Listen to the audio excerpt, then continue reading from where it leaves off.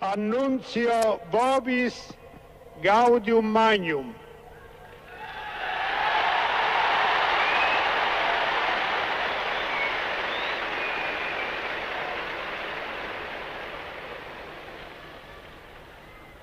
Habemus papam.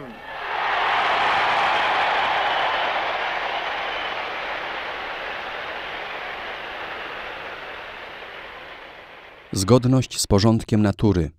Ujęcie teologiczne. Katecheza świętego Jana Pawła II, wygłoszona 29 sierpnia 1984 roku.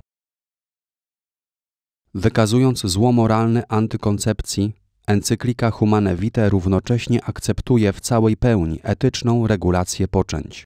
Owszem, w tym właśnie sensie aprobuje też odpowiedzialne rodzicielstwo – Trzeba tutaj wykluczyć jako etycznie błędne takie rozumienie odpowiedzialnego rodzicielstwa, w którym przyjmuje się antykoncepcję jako dopuszczalną metodę jego urzeczywistnienia. Natomiast etycznie poprawne rozumienie odpowiedzialnego rodzicielstwa łączy się z etycznie poprawną regulacją poczęć. Czytamy na ten temat. Etycznie poprawna regulacja poczęć tego najpierw od małżonków wymaga, aby w pełni uznawali i doceniali prawdziwe wartości życia i rodziny oraz by nauczyli się doskonale panować nad sobą i nad swymi popędami. Nie ulega żadnej wątpliwości, że rozumne i wolne kierowanie popędami wymaga ascezy, ażeby znaki miłości właściwe dla życia małżeńskiego zgodne były z etycznym porządkiem, co konieczne jest zwłaszcza dla zachowania okresowej wstrzemięźliwości. Jednakże to opanowanie, w którym przejawia się czystość małżeńska, nie tylko nie przynosi szkody miłości małżeńskiej, lecz wyposaża ją w nowe ludzkie wartości. Wymaga ono wprawdzie stałego wysiłku, ale dzięki jego dobroczynnemu wpływowi małżonkowie rozwijają w sposób pełny swoją osobowość, wzbogacając się o wartości duchowe. Następują jeszcze dalsze zdania o tym, co przynosi takie postępowanie nie tylko samym małżonkom, ale też całej rodzinie jako wspólnocie osób, zdania, do których jeszcze wypadnie nam wrócić. Już encyklika Humane Vitae podkreśla, że etycznie poprawna regulacja poczęć domaga się od małżonków przede wszystkim określonego nastawienia rodzinnego i rodzicielskiego, aby w pełni uznawali i doceniali prawdziwe wartości życia i rodziny. I dlatego też było rzeczą nieodzowną spojrzenie na tę integralną całość, jak to uczynił synod biskupów w 1980 roku. Całość ta znalazła też z kolei swój wyraz w adhortacji Familiaris Consortio. Można powiedzieć, że nauka o tym szczegółowym zagadnieniu moralności małżeńskiej i rodzinnej, jaką zajmuje się encyklika Humane Vitae, w tym nowym dokumencie znalazła się na właściwym miejscu i uzyskała potrzebną optykę poprzez pełny swój kontekst. Teologia ciała, w szczególności zaś jako pedagogia ciała, wyrasta poniekąd z teologii rodziny, a zarazem do niej prowadzi.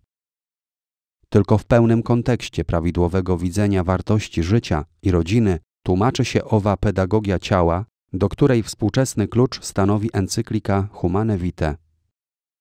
W przytoczonym tekście autor encykliki odwołuje się do czystości małżeńskiej, pisząc, że zachowanie wstrzemięźliwości okresowej jest tą formą opanowania, w którym przejawia się czystość małżeńska. Podejmując obecnie gruntowniejszą analizę tego problemu, musimy mieć przed oczyma całą poprzednio już rozważoną naukę o czystości, jako życiu według ducha, ażeby zrozumieć odnośne wskazania encykliki na temat okresowej wstrzemięźliwości. Ta bowiem pozostaje właściwą racją, wedle której nauka Pawła VI określa regulację poczęć i odpowiedzialne rodzicielstwo jako etyczne. Jakkolwiek okresowość wstrzemięźliwości zostaje w tym wypadku dostosowana do tak zwanego rytmu biologicznego, to jednak sama wstrzemięźliwość jest określoną i stałą postawą moralną, jest cnotą i stąd również cały kierowany nią sposób postępowania nabiera charakteru etycznego. Encyklika dość wyraźnie podkreśla, że nie chodzi tutaj tylko o określoną technikę, ale w ścisłym tego słowa znaczeniu o etykę, czy też etyczność postępowania.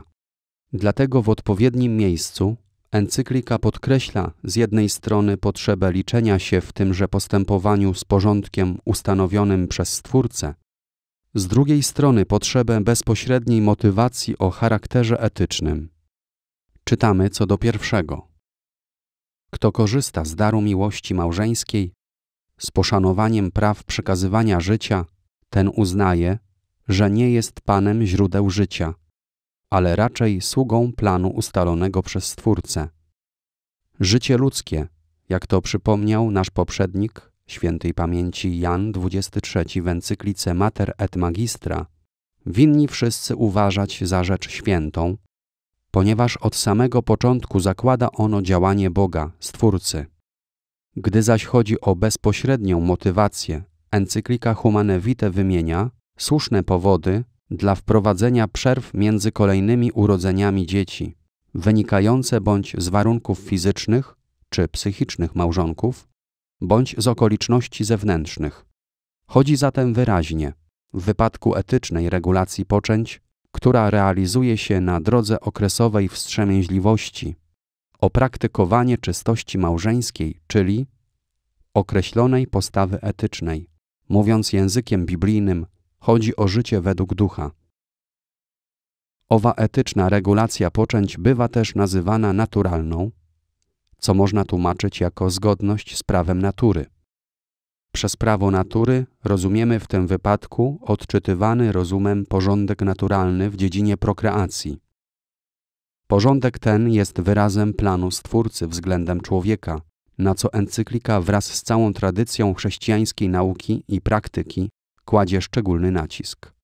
Nie tyle wierność dla bezosobowego prawa natury, ile dla osobowego Stwórcy, który jest źródłem i panem tego prawa, stanowi o etycznym charakterze postawy wyrażającej się w naturalnej regulacji poczęć.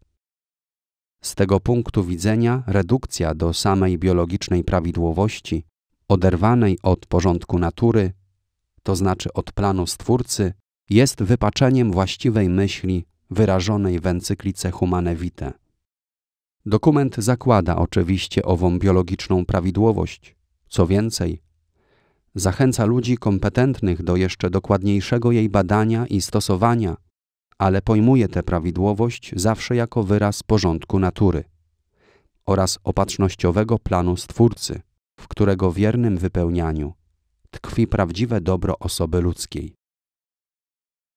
Pater noster, pies in celi, sanctificetur nomen tuum, adveniat regnum tuum, fiat voluntas tua, sicur in cielo et in terra. Pane nostrum quotidianum da nobis odie, et dimitte nobis levita nostra, sicut et nostri vittimus, debitoribus nostri, et ne nos induca in tentatione, sed libera nos a.